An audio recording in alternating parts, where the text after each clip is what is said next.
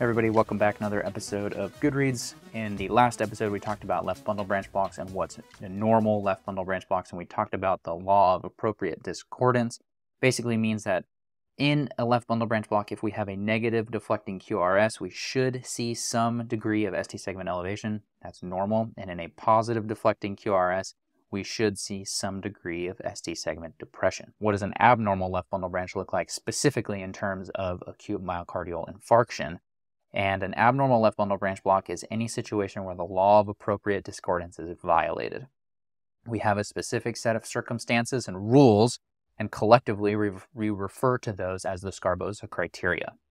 And there are actually three different criteria for an abnormal left bundle branch block, and they're known as criteria A, B, and C. And all three of these together form the Sgarbossa. So we're going to talk about each of the criteria individually and then in the next video, we'll show you what some of these 12 leads look like for a little bit more context. But for this one, we're just going to talk about what the criteria are and the definitions of them. Criteria A is concordant ST segment elevation. And so concordant means in the same direction. So in a normal left bundle branch block, you're going to have a positive deflecting QRS, and there should be some degree of ST segment depression. That's what we should expect. However, criteria A, which is concerning for acute myocardial infarction, occurs when we have a positive deflecting QRS and some ST segment elevation. This is really no different than how we normally scan for STEMIs and everything else. So ST segment elevation concordant with a positive deflecting QRS in any lead is concerning for acute myocardial infarction via criteria A of Sgarbossa.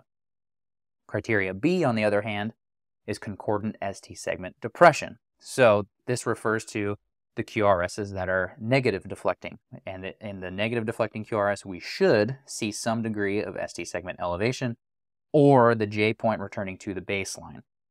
So what does a positive criteria B look like? A negative deflecting QRS and a J point that has some ST segment depression or does not go back to the isoelectric baseline. And so that's positive for criteria B.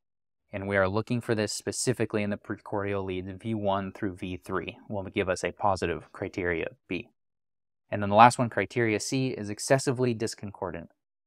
We already said that a negative deflecting QRS should have some degree of ST segment elevation or a return to the isoelectric baseline, but there's a predefined limit as to how much is allowed. And the old criteria C used to say that if the ST segment elevation was greater than five millimeters or five small boxes, that was positive for criteria C. That's now been changed due to the Smith modified criteria They've now applied a 25% rule, and if the ST segment elevation is 25% of the preceding R wave or depth of the QRS complex, that's positive for criteria C. Interestingly enough, criteria C actually tends to be very sensitive for pacemaker patients. So left bundle branch blocks and pacemaker patients all fall under the same category. Criteria C we are looking for in any lead. So criteria A, any lead, criteria C, any lead, Criteria B with the negative deflecting QRS complexes, we're looking at V1 through V. The textbooks, in order to actually consider this a acute myocardial infarction, assigns a point value. I found that really confusing, so to simplify it, criteria A, you need one lead to call it an occlusive myocardial infarction. Criteria B, you need one lead to call this an acute myocardial infarction.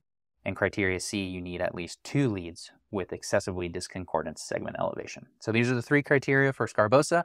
In the next video, we'll go over some actual 12 leads.